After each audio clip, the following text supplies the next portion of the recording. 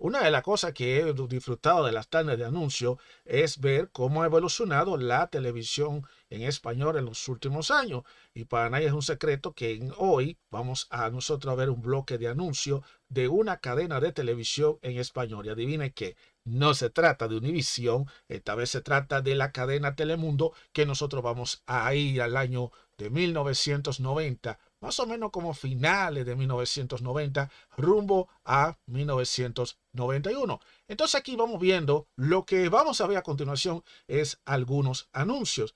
Este video completo con todos los anuncios per se de 1990 a 1991, ya un youtuber lo tiene. Por lo tanto, yo voy a hacer una versión más reducida donde yo voy a presentar algunos anuncios y algunos avances de algunos, de algunos programas que se estaban emitiendo por Telemundo. A continuación estamos viendo Rolite. Rolite es definitivamente el primer anuncio que sirve para los problemas estomacales. Así que el que tenga problemas estomacales, que disfrute de Rolite. De hecho, vamos a ver a continuación cómo comienza el anuncio y ahí vamos a disfrutar de ese primer anuncio.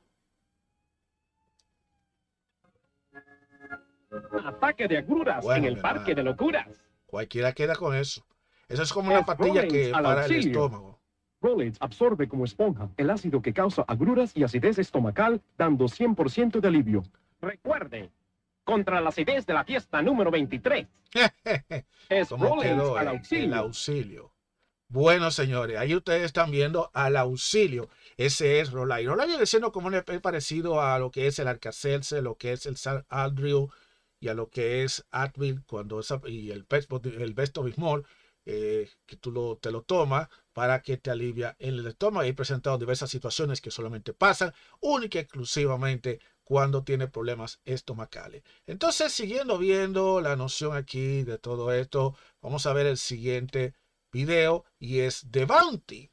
Ajá, eh, la República Dominicana piensa que Bounty no existía. Sí, Bounty ya existía para ese entonces. Y el siguiente anuncio se trata precisamente de los papeles de Bounty, donde dos personas de manera desafortunada tiran al piso algo. Y ustedes van a saber de quiénes se trata. Eso es algo típico que pasa a todo tipo de ama de casa. Cuando no es uno, es el otro que le tira. Pero gracias a Dios llegó Bounty que absorbe mucho más rápido. Así que vamos a ver a continuación. Este es el anuncio de Bounty. ¡Ah! ¡Boom!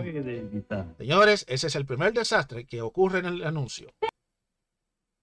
A él, le Bueno, por supuesto está Bounty para salvarlo. Ahí viene el otro. Oh, oh. E, ese es el problema cuando tú tienes un gato. Señores, ese es el problema. Cuando tú tienes un fuñido gato, porque si encima de que tú tienes, tienes que lidiar con el bebé, entonces ahora también lidiando con el gato, cosas así pueden ocurrir. Por eso no era de extrañarse que esto pase. Míralo ahí, el gato no le importa. Y lo secó casi al instante. Bounty absorbe más rápido que cualquier otra toalla de papel de dos pliegues y aún toallas sanitarias de las dos pliegues de las marcas. Oh, hasta ella misma. La toalla Para que lo vea, señores, ese es, es Bounty. Inclusive, inclusive mira cómo son las cosas de la vida. Hasta ella misma, definitivamente.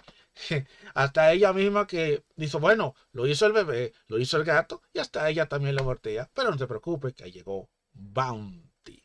El siguiente anuncio que vamos a ver es un anuncio de de la serie de, de los discos de Xuxa. Yo no sé si muchos de ustedes recordarán a esta, a esta mujer que era una cantante famosa en Brasil y que ella estaba muy famosa. Por cierto, el show de ella se estaba emitiendo por la competencia de Telemundo, pero Globo Record estaba vendiendo el disco, un disco de Navidad. Eso era ella que definitivamente lo estaba pasando. Nunca desista de un sueño por esta artista que yo no quiero pronunciar el nombre porque en algunos países eso es hasta cierto punto una mala palabra.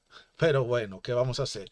También vamos a ver un anuncio de la Feria de la Alegría, que es de la Feria de la Alegría, y vamos a darle datos sobre la Feria de la Alegría. eh, para que tengan más o menos una idea. La Feria de la Alegría estuvo, fue un programa de juegos en vivo de Telemundo que se transmitió de lunes a viernes a las 4 de la tarde entre 1988 y 1991. El video fue en 1990. La serie fue producida por Telemundo Network y estuvo disponible. Y además es considerada, es, fue el primer game show en vivo de Telemundo, por lo menos de esa cadena Telemundo. Así que bueno dar esa información para que la gente vaya sabiendo realmente de qué se trata. Así que vamos a volver de nuevo para atrás. Vamos, a, ahí estamos viendo el anuncio de Chucha, que no le voy a poner la música por cuestiones de, de copyright. No le quiero poner. Sí, porque hay muchas de esas canciones de Navidad, pero vamos a ponerle los últimos segundos finales. Yo espero que no me vengan y me tumben el video. Nunca desistas de un sueño. Esa era una de las conductoras de la Feria de la Alegría. Y eso fue en, época, en diciembre. Diciembre de 1990. Pero, hija, esa vestimenta deja mucho que desear, pero nada, vamos a dejarla. Lo mejor. Lo mejor. mire la línea gráfica que tenía. Mire la línea gráfica que tenía Telemundo para ese entonces, señores. Mire qué línea gráfica, señores. Ah. Y después me están, después están, después están diciendo que no, que Univision tenía mejor línea gráfica, pero Telemundo tenía su línea gráfica. Ok, el siguiente anuncio es de ocurrió así. Vamos, dale. Ocurrió, así, es impacto. Noticias. Ocurrió entretenimiento. Experiencia. Ocurrió así es con Enrique Gratas, wow, cuántos recuerdos, señores. ese edificio se cayó fuerte. Para y fíjate bien que esos fueron, los, de esos fueron los primeros. Oye, oye, de lunes a viernes a las 5.30, Originalmente era de 5 y media, y después lo pasaron a tener una hora. Ocurrió así por Telemundo. Ok, vamos a dar algunos datos. Ahí vamos a pasar, este es, ocurrió así. Vamos a dar algunos datos, definitivamente de ocurrió así, mucha gente no sabía, pero ocurrió así. Fue un programa que comenzó en la televisión, en Telemundo, de investigación. Creo que fueron de los pioneros. Era presentado por Enrique Gratas. Esa es la versión que más yo recuerdo con Enrique Grata. Eh, y luego pasó, pasar, él tuvo entre 1990 y 1999. Luego Pedro Setset estuvo en el 99. Guillermo de Calci del 99 al 2000, Ana Patricia Candiani del 2000 al 2002 y Candela Ferro del 2001 hasta el 2002, que fue cuando la, cancelaron en el año 2002. Ocurrió así, se estrenó el, el 8 de octubre de 1990, o sea que ya estaba recién comenzado, comenzando con Enrique Grata como aflicción, transmitiéndose en el horario de las 5 y 30 y luego pasó a ser una hora. Ganó seis premios Emmy y se convirtió en el programa líder de la cadena. Los índices de audiencia empezaron a caer cuando Univision comenzó haciendo primer impacto que anteriormente era Noticias y más y luego lo convirtieron en primer impacto. Increíblemente eso es así. Eh, ocurrió así, fueron de los programas. Eh, había un programa de noticias, de, de una revista definitivamente de, había una revista, si mal no recuerdo, de espectáculo con Cecilia Boloco, luego fusionaron a las 5 de la, de, la, de la tarde y lo fusionaron y se quedó, ocurrió así, para hacerle frente a la cadena de, de, de Univision con su primer impacto. Ya después de ahí vamos a ver otro anuncio de la marca Rich de Johnson Johnson y también vamos a ver un avance de telenovela de Pasionaria. Eso es lo que vamos nosotros a ver a continuación. Así que vamos a disfrutar de, de más anuncios aquí en Viendo Televisión, la cadena de Telemundo. Vamos a ver. Ocurrió así. Eso fue durante muy fácil limpiar sus dientes delanteros, este pero para este limpiar de verdad esas muelas posteriores tan difíciles de alcanzar, usted necesita tener una cabeza convertible. Ojalá yo abrí esa boca de esa manera. Rich tiene un diseño inclinado para llegar hasta las muelas posteriores. Y sus cerdas externas son más largas y suaves para limpiar y dar masaje a las encías. Ya lo sabe, para limpiar de verdad las muelas posteriores, usted necesita una cabeza convertible. ¿Y por qué hay que abrir la boca de nuevo? De Johnson a Johnson. ¿Qué tal el viaje, prima? Es terrible, tiene fiebre. No te preocupes, en casa tengo Tylenol para niños. Tylenol para niños es un anuncio de Tylenol. rápidamente. Mejor. ¿Jugamos? Confíe en Tylenol para niños, lo que más pediatras dan a sus propios Porque hijos. recuerde que hay Tylenol para niños también. Este, este es el Tylenol para niños. Recuerde que está el Tylenol para adultos y el Tylenol para niños. Por eso es lo que más pediatras dan a sus propios hijos es Tylenol. Se lo tenía de sorpresita el comercial y no se lo había anunciado. Ahora vienen los avances. A viernes en Mira eso, pasionaria. Frescome. ¿De quién es el hijo que va a tener? Fernando Carrillo. Pasionaria. Eh, De lunes a viernes Catherine a las 7, 6 centro por Telemundo. ¿y qué? Ah, pero venga, ¿qué, qué, qué, qué novela es esta? De por Dios, venía se queda Horror. asombrada. ¿Y qué es esto? Pasionaria. Ok, vamos a es- parar aquí porque vamos a poner aquí. Ok, vamos a hablar un poco de Pasionaria. Esa novela, como le dije, fue pasada originalmente por Telesistema. Vamos a hablar un poco de Pasionaria. Pasionaria era una telenovela venezolana realizada y transmitida por Venevisión, por supuesto, en 1990. Por, bueno, la- esto fue en 1990. Eh, la novela fue protagonizada por Catherine Fulop y Fernando Carrillo y antagonizada por Henry Galouet. El tipo decía su risita. Yo no sé por qué le salía esa risa a Henry Galouet y Yolanda Méndez. Fue distribuida internacionalmente por Venevisión Internacional. Tuvo un total de 254 capítulos.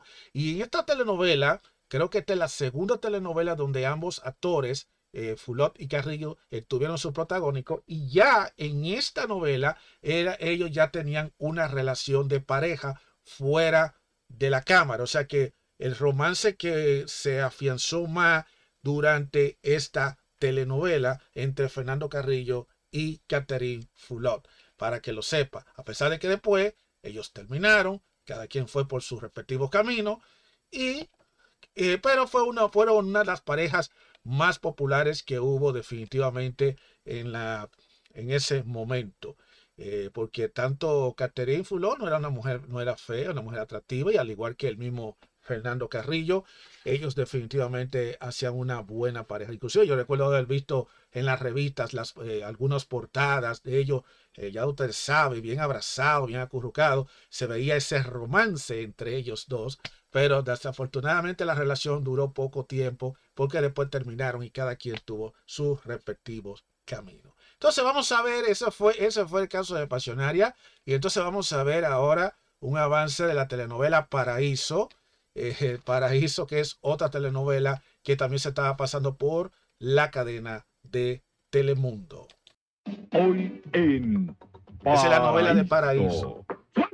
Ah, pero ven acá, y eso es así. ¿Y cómo es esta vaina, señor? Yo no entiendo esto. Paraíso. Ahí se queda como si nada. Si él no las 8, 7 llega, centro por se queda, él se queda que no le importa Tu para nada. amor. Paraíso. La novela de Telemundo. Paraíso. Ok, es la novela de Paraíso de Telemundo que se estaba pasando en el horario. Esa novela es mucho más antigua que la novela. De hecho, esa novela de Paraíso fue una novela producida entre 1989 y 1990 y tuvo como protagonista a Víctor Cámara, que ustedes lo ven ahí, y a Amanda Gutiérrez, que no aparece ahí en ese avance, con la participación antagónica de Belén Marrero, Eva Blanco y Mariano Álvarez, que yo creo que ese es uno de los villanos, y además cuenta con las actuaciones estelares de José Oliva, Francisco Ferrari y Marita Capote. La novela tuvo 160 capítulos y eh, fue producida, por supuesto, por Venevisión. Aparentemente Telemundo estaba pasando varias telenovelas de Venevisión y esa novela estaba pasándose en, esa, en ese horario por la cadena de Telemundo, tu mundo. Así que bueno que sepa ese detallito, señores. Qué detallito tenía la novela. Vamos a seguir corriendo, el video. Ahí estamos viendo el emblemático logo de Telemundo de la década del segundo logo. Este es, el, este es el segundo logo que tiene Telemundo. Recuerden que hubo un logo anterior que era un logo parecido a, la red de Globo, y luego vino este logo, que a mí me encanta, siempre me ha encantado ese logo. No sé por qué ese logo me resulta más atractivo que el logo de la T con el mundo. Inclusive yo no sé por qué razón, eh, por cuáles fueron las razones por las cuales ellos no pusieron, cuando cambiaron el logo, que fue en el 92, no entiendo por qué razón ellos no pusieron, por ejemplo, ese logo entre el medio de la, de la T. Y yo hubiera quedado fantástico y fenomenal. Y hubiera quedado fenomenal. Pero ustedes saben, son decisiones de la gente. Yo creo que las razones detrás de ese cambio de logo vino por cuestión de copiar a Univision, porque Univision sacó la U, y entonces, ah, no, pues si Univision sacó la U, pues vamos nosotros a sacar la T, con un mundo, porque de eso se trata, la T de Telemundo. Recuerda que estaba hablando de Telemundo de Estados Unidos, porque hay otro Telemundo que es de Puerto Rico. Así que es bueno que la gente sepa esto. Entonces ese es Telemundo y vamos a ver. Y ahora vamos a presentarle a ustedes un avance de noticias local. Este avance de noticias solamente se ve, se vio en la filial de donde se estaba transmitiendo este canal. Y adivine en cuál filial fue esa. Adivine. Adivine. Emma, le voy a dar cinco minutos para le voy a dar, le cinco segundos para saber cuál fue la filial de donde esto se grabó. Ok, cinco, 4, 3, 2, 1. Esto fue grabado en la filial de Telemundo 47 en Nueva York. Y en ese entonces el noticiero no se llamaba el noticiero 47, sino se llamaba el informador 47. ¿No lo creen? Vamos a ver a continuación el breve del 47, del notibreve del 47. Muy buenas tardes, les habla Lara Talbán con las informaciones. En el Bronx, un hispano fue muerto y otros gravemente heridos por tres hombres en un hecho que los investigadores relacionan con el narcotráfico. Dos camiones de recolección de basura fueron incendiados en Manhattan. Señores, esas son las típicas noticias que siempre relacionado con la huelga de los recolectores de desperdicios privados. La huelga cumple hoy su segundo día y afecta a más de 250 Señores, esa noticia es normal. En los noticieros locales ustedes van a escuchar o un incendio o un ataque a mano armada o un accidente. Esas son las noticias principales que se ven en los noticieros locales. Eso no es nada raro. Los huelguistas del diario Daily News manifestaron frente a las oficinas de la compañía propietaria del diario en Chicago, donde se discutía el futuro de esa publicación neoyorquina. Y las autoridades investigan el incendio de una bodega ubicada en la esquina de la calle 149 y la avenida St. Nicholas en el Alto Manhattan. Nos vemos esta tarde a las 6 en el Informador 47 con más noticias. Hasta entonces. Bueno, ahí termina, damas y caballeros, el notibreve del canal 47 de Telemundo. Señores, esto es increíble. Ese era el notibreve del Informador 47. No sé por qué razón ellos cambiaron de, de informador a Noticiero 47 o Noticia 47, no sé por qué, porque le hubieran dejado eso como era, pero ustedes saben, son los cambios, tú sabes, cambio de dueño, cambio de gente, luego en el mundo lo compra la gente de la NBC Universal y todo eso cambia. Todavía en ese entonces Telemundo no era de la NBC Universal, Telemundo era, creo que tenía una asociación con la gente de Puerto Rico y ellos tenían una empresa aparte, luego fue cuando pasaron a la venta. Eso fue todo, eso fue más adelante, por eso los cambios que han pasado por la cadena de Telemundo y por supuesto, este es un noticiero local y, y realmente para que la gente sepa que ya para los 90 se estaba usando la terminología de El Informador 47, no el noticiero Telemundo. Después fue que lo cambiaron al noticiero 47 y luego noticiero Telemundo 47. De, porque estamos hablando del canal 47 de Nueva York. La gente está preguntando, pero ven acá, ¿de qué canal tú me estás hablando? El 47 de Nueva York. ¿Verdad? No es el 51 del flor, de la Flor de Miami, ni tampoco el 62 de Filadelfia. Estamos hablando de el 47, ni tampoco está hablando de la cadena nacional de Telemundo. Así que olvídese de esa vaina. No se complique tanto la vida, señores. Eso es así. Entonces, como le dije, eso, para, para poner en contexto, para poner en contexto definitivamente, vamos a ver todo lo que nosotros vimos. Primero vimos un anuncio de Rolite, eh, tenemos, vimos un anuncio de Bounty, luego vimos un anuncio del disco de, de Chucha, de Nunca Desista de tu sueño. Luego tuvimos un anuncio de la Feria de la Alegría. Luego vimos un anuncio de Ocurrió Así. Luego tuvimos un anuncio de Rich de Johnson Johnson. Luego tuvimos un anuncio de Tylenol para niños, que yo no lo puse ahí. Tenemos un anuncio de Pasionaria, de una telenovela. Y también un anuncio de Paraíso. Y también, por supuesto, tuvimos eh, un glimpse de lo que es el bumper de ese entonces de Telemundo. Y también tenemos el Noti Breve, que es la parte, la versión local de Telemundo, Canal 47, que se llamaba El Informador. Eso fue definitivamente cuando Telemundo usaba el famoso logotipo en el año 1990. Eso fue en diciembre de 1990. Así que qué bueno que ustedes hayan recorrido en realidad, esta tanda de anuncios más larga de aquí, esto fue grabado durante, durante la película Cine en su casa, donde creo que era Carlos Gardel, la película era una película de Carlos Gardel, pero como otro youtuber ya lo tiene en su canal, posiblemente ustedes la va a tener que buscar bloque de anuncios de Telemundo, eh, diciembre 1990, eh, y ustedes lo van a encontrar completo, que él lo hizo por completo, pero hice esta parte porque aquí le estoy dando mi punto de vista, mi comentario y todas estas cosas. Si quieres ver estos y otro tipo de videos como este, yo te recomiendo que veas los videos que te voy a poner a continuación al lado, aquí mismo, eh, de aquí al lado, que lo vea. Así que qué bueno que exploramos esa parte del pasado de lo que fue Telemundo, la fiebre de Telemundo. Así que nos veremos en los siguientes videos y gracias por ver este su video aquí por este su canal de YouTube de Juan Cárdenas. Olviden, no se olviden de comentar allá abajo.